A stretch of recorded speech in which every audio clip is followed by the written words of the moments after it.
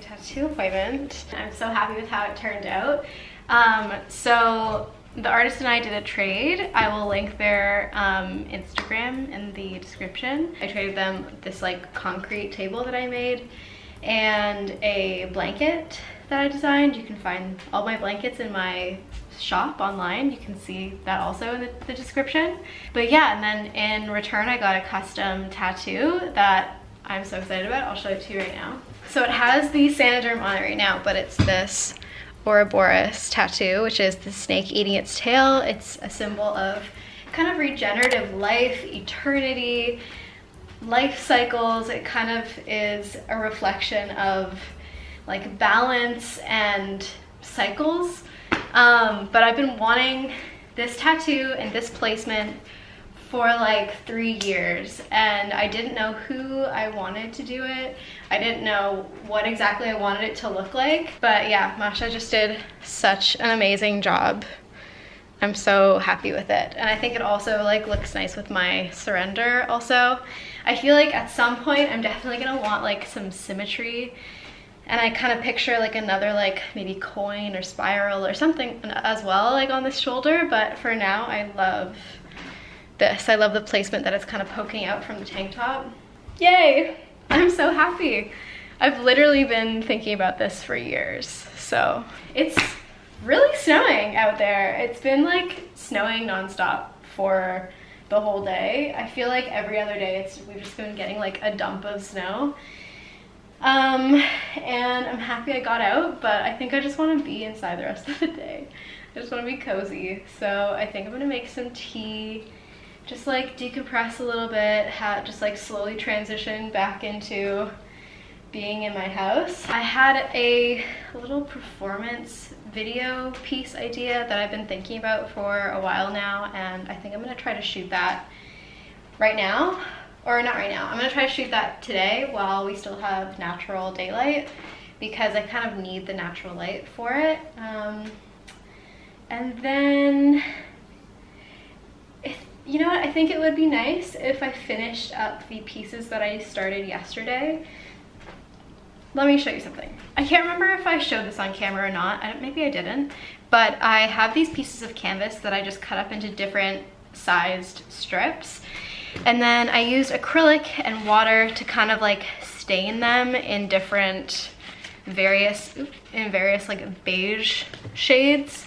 So they're all like a little different. Some are a little bit more like yellow. Um, some are a little bit more like cream or tan colored. Um, but I want to just try doing kind of like a patchwork canvas. So I just want to glue these to a canvas. Um, just because I feel like I like the texture. I just want to try it out. Yeah, so the plan is to take these different strips and just kind of almost collage them onto a canvas um, in different like patterns or I don't know, I just want to try, I like the different shades of beige and I like the texture of them. So yeah, I want to try pasting those onto a canvas and just see what that looks like. I've been really loving texture. I really like te like texture things and messy things and yeah, a lot more like abstract. I feel like I was doing a lot of illustrative drawing for a really long time and as much as I loved it at the time, I, I think I had a hard time like connecting myself to the work because I was like, why am I drawing this? Why am I drawing this scenario or this symbol? And I don't know, I guess in the moment, like I was very into medieval art and the symbolism behind medieval art and I, I still really love all of that.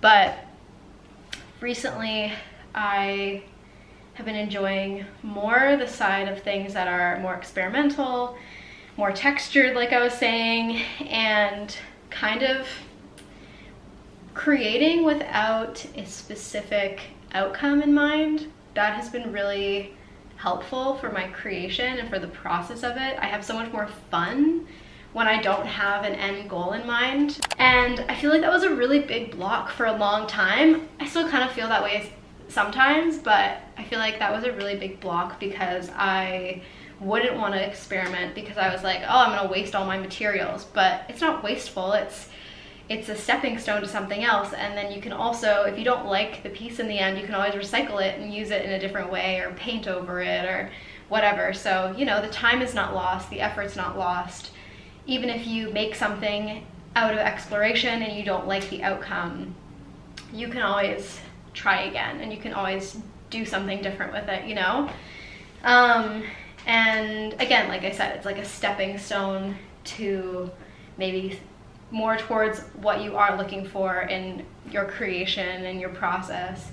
Um, so through all of this experimentation, I found that I really love working with different mediums, working with the crackle paste has been really fun, a lot of layering of paint, that's been really enjoyable. I love working with the concrete and plaster.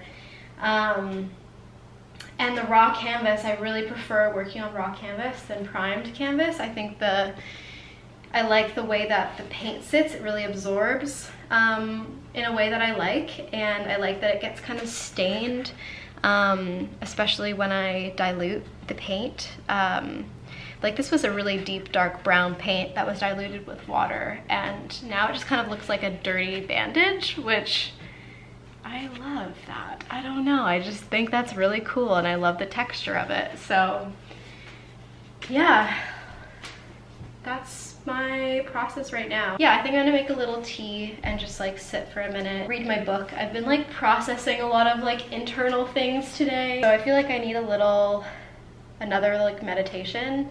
I didn't film my like full morning routine, but um, I've already done my like daily meditation, but I feel like I just need a little something extra right now. I'm so excited about this tattoo. I'm like looking at it in the viewfinder and I am so pumped. Okay, I'm gonna make a little tea and then I'll see you in a little bit. Okay.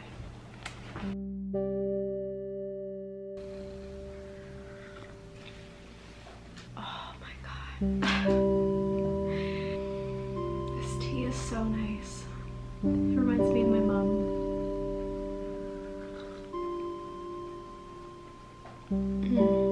also having a little bit of leftover Indian food that I ordered last night. A little bit of like cauliflower. I put some lettuce in there also. Mm. Mm, mm, mm.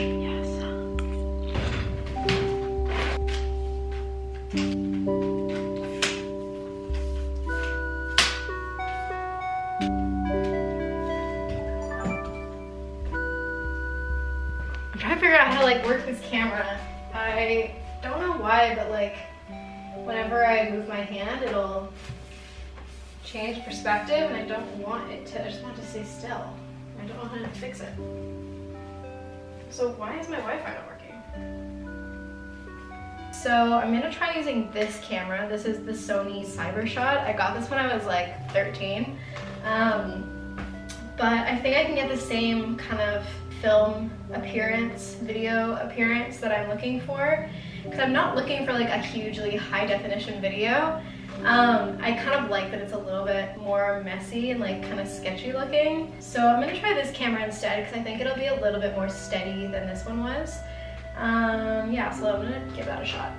Also like the purpose of this like performance video that I'm doing, the purpose of it is mostly like it's mostly playful. I just have this like image in my mind of like hands behind a white wall. And I thought it'd be funny to have the hands like be playing a game where they're pointing to each other and they kind of switch off and they, you know, halfway through counting the fingers, they switch and, you know, the other hand has to go down and you count the fingers.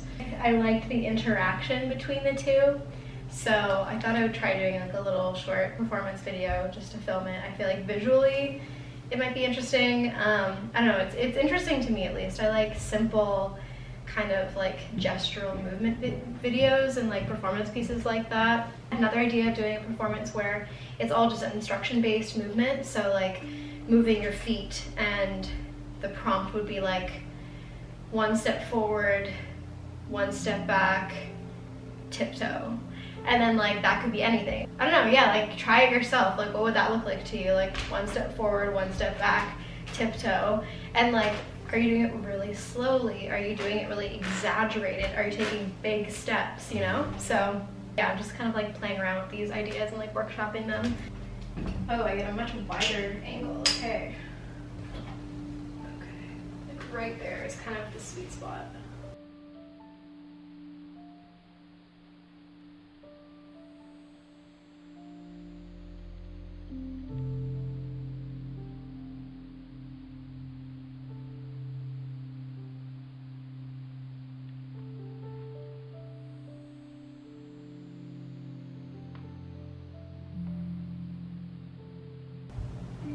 Okay.